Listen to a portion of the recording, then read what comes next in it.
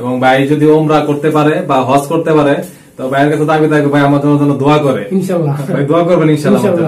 তো আজকে tattoo remove করব। এই ভাইয়ের হাতে ট্যাটু তো ভাই অনেক দূর থেকে আসছে।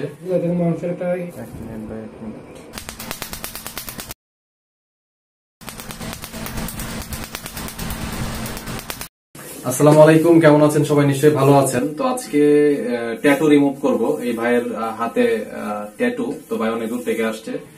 তো ট্যাটু করব রিমুভ করব। ট্যাটুটা আমরা রিমুভ করে দিব। এবং ওনার দুই হাতে দুইটা ট্যাটু করা আছে। ট্যাটুটা কীভাবে রিমুভ করছি আপনাদের ভিডিওতে দেখাবো। এই যে ভাইয়ের দুই হাতে অলরেডি এই যে দেখতে পাচ্ছেন নিশ্চয়ই, ভাইয়ের হাতে এখানে একটা ট্যাটু আছে। এবং দেখেন, এই হাতে দেখেন, আরেকটা ট্যাটু আছে। তো এগুলা রিমুভ করে দিব। একদম স্থায়ী ভাবে রিমুভ হবে। এবং ভাই এগুলা আসলে ট্যাটুটা যখন করছিলেন আপনি তখন আসলে কি বুঝে ট্যাটুটা করলেন বা?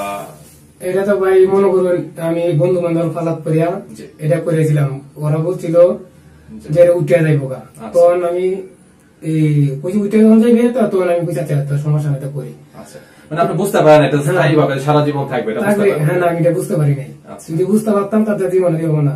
আচ্ছা। আর এখন এটা মনে করেন তোলার জন্য আপনার কাছে আসা। ওকে সমস্যা টেনশন করবেন না একদম স্থায়ী ভাবে আমরা উঠিয়ে দিব। এবং যখন ট্যাটুটা করছিলেন করার পর আপনি নাম আসলে ট্যাটু করলে কিন্তু নামাজ হয় না। হ্যাঁ। তো এটা ট্যাটুটা আরও আরও আগে তোলা আপনার উচিত ছিল? হ্যাঁ ছিল আমি বুঝতে পারেন পারি না এরপরে এতদিন আমার এই মাথায় এরা চেঞ্জ আসছিল না। যখন এখন আমার মাথার চেঞ্জটা আসলে জি। তখনই আমার এটা বুঝতে পারছি এরপরে আমার নামাজ হয় না। জি জি। অনেকেই অনেক কথাই বলে এই জন্য আর কি আমার এই তোলা জন্য। ট্যাটুটা তোলার জন্য। হ্যাঁ। আচ্ছা তো ভাই আবার বাহিরে যাবে তো ভাই ভাইয়ের জন্য শুভ কামনা থাকবে এবং ভাই যদি ওমরা করতে পারে বা হজ করতে পারে তো ভাইয়ের কাছে দাবি থাকবে ভাই আমার জন্য দোয়া করে। ইনশাল্লাহ। ভাই দোয়া করবেন ইনশাল্লাহ।